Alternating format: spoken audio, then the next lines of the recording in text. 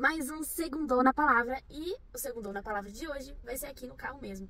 E eu vou ler para vocês Isaías 11, do 2 ao 5. Diz assim, ó: Repousará sobre ele o Espírito do Senhor, o Espírito de sabedoria e de entendimento, o Espírito de conselho e de fortaleza, o Espírito de conhecimento e de temor do Senhor. Deleitar-se-á no temor do Senhor. Não julgará segundo a vista dos seus olhos, nem repreenderá segundo ouvidos o ouvir dos seus ouvidos, mas julgará com justiça os pobres e decidirá com equidade a favor dos mansos da terra.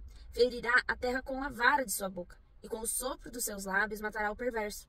A justiça será o cinto dos seus lombos, e a fidelidade o cinto dos seus rins. Aqui ele dá um exemplo de um líder, né? Olha só.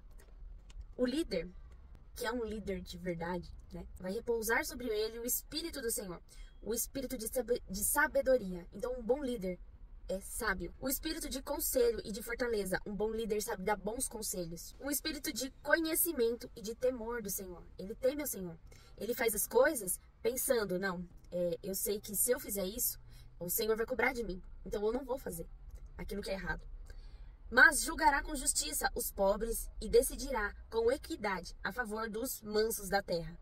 Ferirá a terra com a vara de sua boca e com o sopro de seus lábios matará o perverso. Sabe, quando você conversou com uma pessoa e ela consegue falar de um jeito que te quebra, por exemplo, você está fazendo uma coisa errada e aí a pessoa vai, ela te explica aquilo que você está fazendo de errado de um jeito que quebra você, é isso. Um bom líder sabe falar isso. Ele sabe falar de um jeito que ele vai atingir a pessoa sem machucá-la. Sabe? Quando você fala de um jeito que a pessoa fala, não, realmente eu preciso mudar.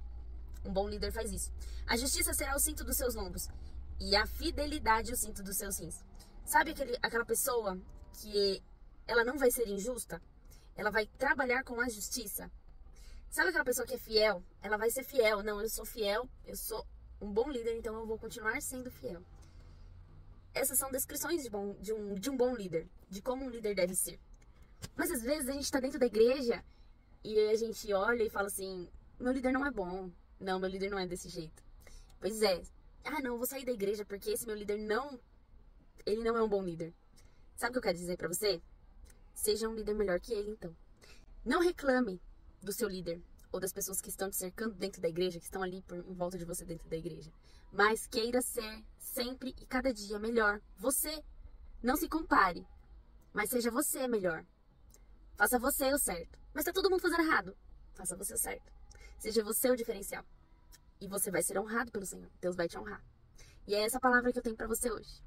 E qual é a sua opinião sobre isso? Me conta aqui no direct, eu quero saber.